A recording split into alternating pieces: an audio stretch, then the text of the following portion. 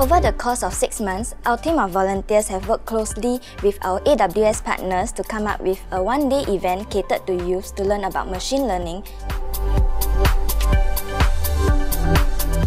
We transformed our office to house a large group of students and laid up a fully functional DeepRacer track to allow actual racing of the car models.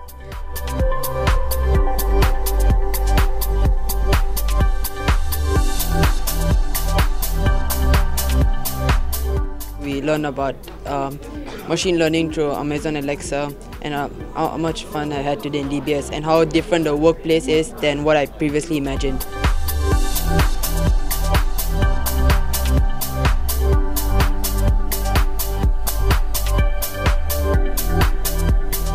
So DeepRacer is actually a service on Amazon Web Services which can give people very easy uh, and accessible access to things like machine learning.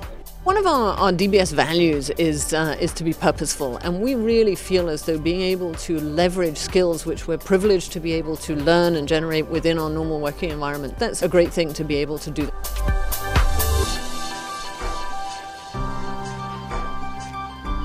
We hope today by engaging the youth for DBS Tech for Tomorrow, the youth will be able to use technologies to think about how it can affect their life, be future ready, and they can benefit the community.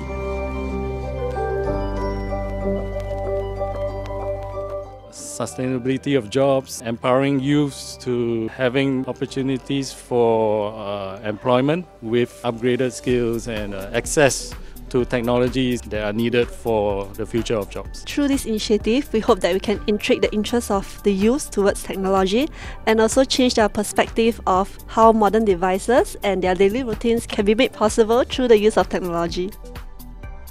I've been more interested in technology because of this program because it opened my eyes to another whole world of what we can use technology for. I would like to see the real car like that because it's safe. I trust the system and there's no need for people to fetch. Uh, my favorite activity today would have to be the mixed reality as it shows us how our future could become like and show us how holograms could be used to help us in many different industries.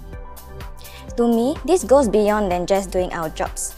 It gives me the opportunity to give back to the community through education, and this is priceless. We're always looking for opportunities or organizations that would benefit from us being able to bring our technology skills to them in the skilled volunteering kind of a way. So if people have a, an opportunity for us, we'd love to partner with them.